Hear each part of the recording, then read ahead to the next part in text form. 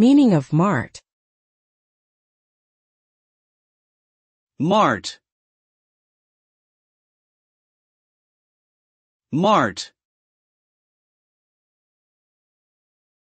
Noun. Definitions. 1. A market or a gathering of people for the sale of goods, especially a temporary or occasional one. 2. A building or area used for buying and selling goods. 3. A department store or a large retail store. Examples. 1. The mart was set up in the town square for the holiday season. 2. The old mart on Main Street has been converted into a boutique hotel. Verb. Definitions. 1. To sell or offer for sale in a market or to the public. 2. To advertise or promote something in a boastful or exaggerated way. Examples. 1.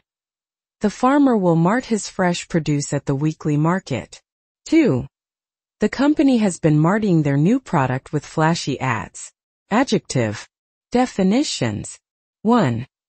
Relating to trade, commerce, or a market. Examples. 1. The mart economy is driven by supply and demand. Note, this part of speech is less common and not as well represented in the OED.